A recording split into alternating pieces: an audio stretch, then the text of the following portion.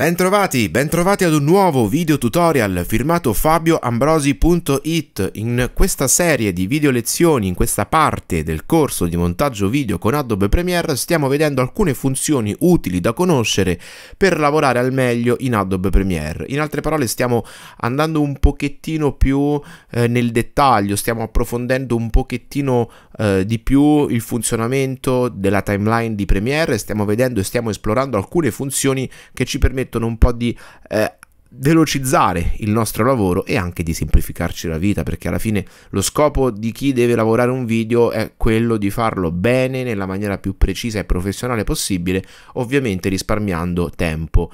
E il tempo oggigiorno è veramente una cosa, una risorsa importante.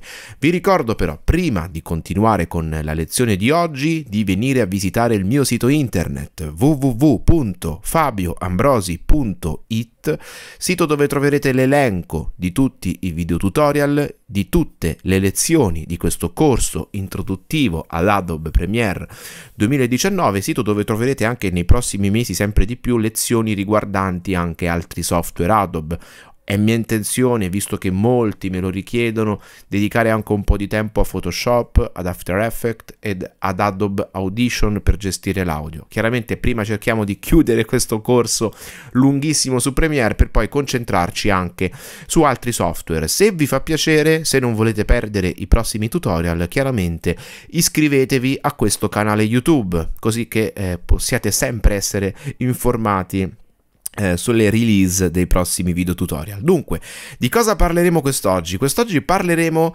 e eh, vedremo come fermare il tempo. Nella scorsa lezione vi avevo detto, prossima, nel prossimo tutorial vedremo come fermare il tempo. Cosa vuol dire? Detto semplicemente vedremo come creare, come fare un freeze frame, ovvero come fermare, bloccare un video, no? Immaginate eh, di avere la volontà ecco, di fare un, una clip video dove c'è questo simpatico gabbiano di Roma che passeggia e ad un tratto, bam, fermarlo perché magari avete intenzione, non so, di fare una transizione, di creare un effetto, di fare qualcosa, di, di, di zoomare per vedere qualche dettaglio eh, di, di quest'uccello cervello, non lo so. Ecco, per qualunque ragione voi abbiate la necessità di fermare il tempo, quest'oggi vedremo come fare. In realtà è un procedimento veramente molto semplice nella sua versione base. Eh, è un procedimento un pochettino più complesso se vogliamo farlo in maniera un pochettino più articolata. Oggi parleremo di entrambe queste casistiche, quindi mettetevi seduti con calma, tranquilli e iniziamo immediatamente. Dunque, innanzitutto se vogliamo fermare il tempo, vi informo che questa funzione è disponibile in Premiere eh, in due modi. O cliccando sulla clip che volete frizzare e scegliere la voce opzioni di fermo fotogramma, oppure, come al solito Premiere ci dà la possibilità di fare un'azione in diversi modi, oppure c'è la possibilità di andare alla voce clip, opzioni video, opzioni di fermo fotogramma. Ecco, la strada è diversa, ma il risultato è esattamente lo stesso. Prima però di cliccare su questa, su questa opzione, su questa voce del menu di Adobe Premiere, decidiamo cosa vogliamo fare. Dunque, noi vogliamo fare in modo che questo nostro gabbiano inizi a passeggiare, quindi magari questa mh, mm, parte iniziale del video possiamo toglierla, ok? Facciamo partire il nostro gabbiano, non piccione, gabbiano, da, da questa posizione, andiamo in play, decidiamo a un certo punto di fermare l'immagine, quindi ci interessa, ecco, ci interessa la clip fino a questo punto, tutto il resto possiamo cancellarlo, quindi tasto C per attivare il taglierino, tagliamo la clip, tasto V per tornare alla selezione, selezioniamo la clip, canc e via. Ok, ci concentriamo solo su questa clip.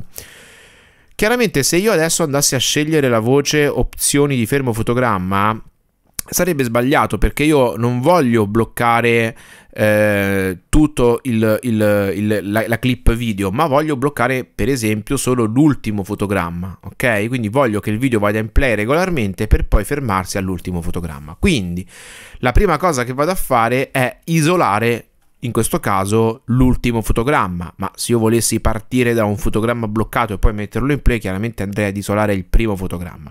Isoliamo l'ultimo fotogramma, quindi tasto C per tagliare, clicchiamo, tasto V per tornare alla modalità selezione e quello che faremo sarà frizzare, bloccare questo frame. Oh, attenzione in Premiere, um, in Premiere il frame eh, selezionato è quello che ha questa linea blu sopra. Per intenderci, vedete questa barretta orizzontale? Ecco, questa barretta ci indica che noi stiamo in questo momento considerando questo fotogramma, non il fotogramma prima, ma il fotogramma dove c'è la selezione della barretta orizzontale. Questo è un concetto molto importante da apprendere e lo vedremo quando andremo ad esportare perché può essere fonte di confusione. Quindi dicevo, torniamo al nostro, al nostro fotogramma. Questo è il fotogramma che noi vogliamo frizzare. Chiaramente se io adesso lo andassi a riallungare, io non frizzerei assolutamente niente, ma chiaramente...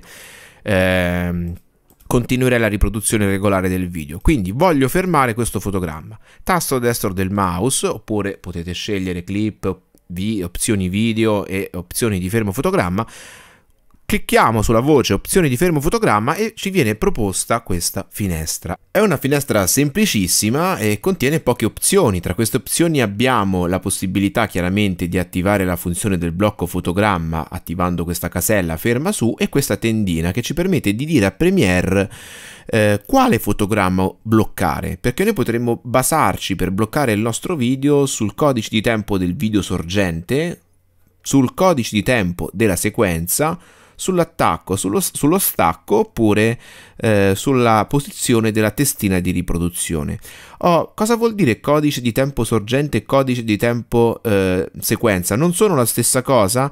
Beh, noi diamo per scontato che eh, la timeline, così come il codice di tempo della sorgente, partano da zero. In realtà, se voi utilizzate delle videocamere un pochettino più complesse, voi come timecode potete impostare anche un orario, non so, 14, 00 e 15 frame, ad esempio. Quindi, quando voi andate ad indicare a Premiere quale fotogramma bloccare, voi potreste dire anche eh, prendere come riferimento il codice di tempo direttamente del video sorgente. Qui sotto potete specificarlo a mano.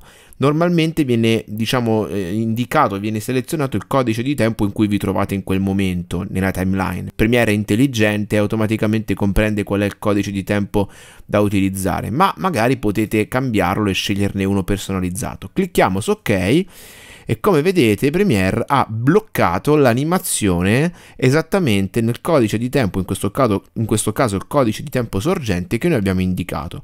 Perché utilizzare anche la possibilità di dare un attacco, uno stacco e la posizione della testina? Perché ipotizziamo che noi non utilizziamo un singolo frame come abbiamo fatto in questo caso isolandolo, ma ci troviamo, in una, in, ci troviamo in una situazione tipo questa, dove abbiamo una clip intera, vedete in movimento, e ne decidiamo di, invece di bloccarne un singolo fotogramma. Ecco, se noi andassimo nella finestrina di prima e impostassimo come metodo, come, sì, come metodo di selezione del fotogramma l'attacco, e cliccassimo su ok, vedete che Premiere va a prendere il primo fotogramma di, questa, di questo blocchettino multimediale, ok?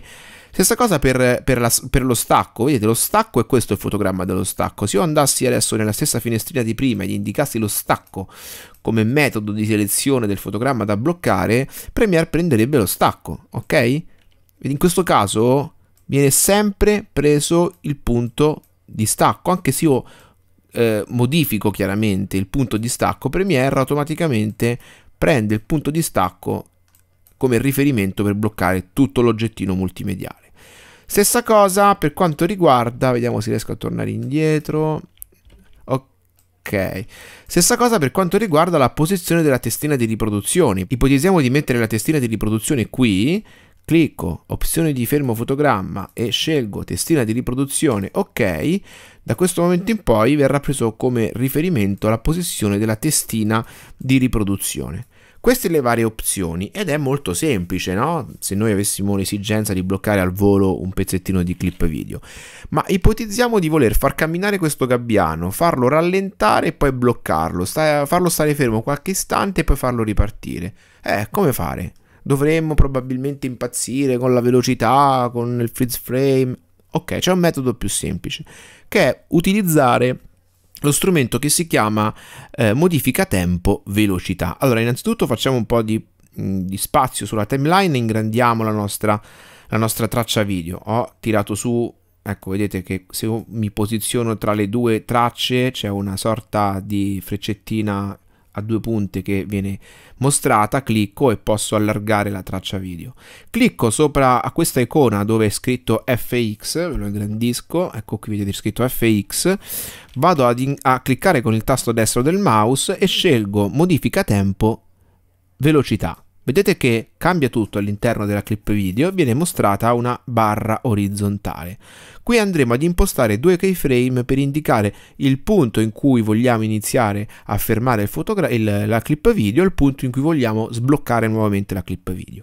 Tengo premuto il tasto CTRL sulla tastiera e clicco in un punto qualsiasi. Vedete viene creato un primo, un primo fotogramma chiave. Ok, ingrandisco un pochettino perché tra breve voglio mostrarvi una cosa importante. Vediamo se ci riesco. Ok. Perfetto. Adesso vado avanti. Eh, anzi no, tengo premuti i tasti CTRL e ALT contemporaneamente, vedete? Tengo premuti i tasti CTRL e ALT, clicco su questo keyframe e lo trascino verso destra. CTRL, ALT e trascino questo fotogramma chiave e viene sostanzialmente eh, modificata la curva. Cosa succede in questo caso? Succede che Premiere mette in play il video, lo blocca in questo blocchettino e poi lo rimette in play quando tutto torna alla normalità. Vedete? Play, stop, play. Noi però possiamo anche fare una transizione tra questo stato di movimento e questo stato di quiete. Come? Bene, se voi ingrandite e guardate bene, questo keyframe ha due porzioni a due maniglie. Se io clicco sulla maniglia di sinistra, per esempio, col, col tasto sinistro del mouse e trascino, vedete che la curva diventa morbida, si ammorbidisce, stessa cosa, ecco se sposto quello di destra la sposto proprio tutta fisicamente, ecco, clicco su quello di sinistra e cosa succede in questo caso? Succede che il video partirà alla velocità normale, piano piano rallenterà fino a fermarsi e poi di punto in bianco ripartirà. Proviamo? Ecco, si rallenta, si blocca e riparte subito. Stessa cosa possiamo farla da questo lato, quindi clicchiamo, trasciniamo e quindi quello che succede è questo, il video va alla velocità normale, rallenta, si ferma e riparte. Rallenta, si ferma e riparte. Molto comodo, molto comodo. Eh, possiamo modificare anche, diciamo, quella che viene chiamata forma della, della curva, vedete che qui al centro, se non lo vedete dovete cliccare su questa barra grigia, ecco qui vedete, c'è una sorta di maniglia che se modificata ci permette di modificare l'inclinazione, vedete, della, della, nostra curva in maniera tale da rendere magari la transizione tra lo stato di quiete e lo stato di movimento un pochettino più morbido. Questa è una tecnica un pochettino più avanzata, giocateci, prendeteci confidenza, eh, chiaramente, ripeto, è normale che vada a scatti ad un tratto perché il numero di fotogrammi è sempre 25 e Premiere per rallentare va a duplicare i frame, no? dovete girare chiaramente ad una velocità molto più elevata per avere un effetto molto più, più, più morbido.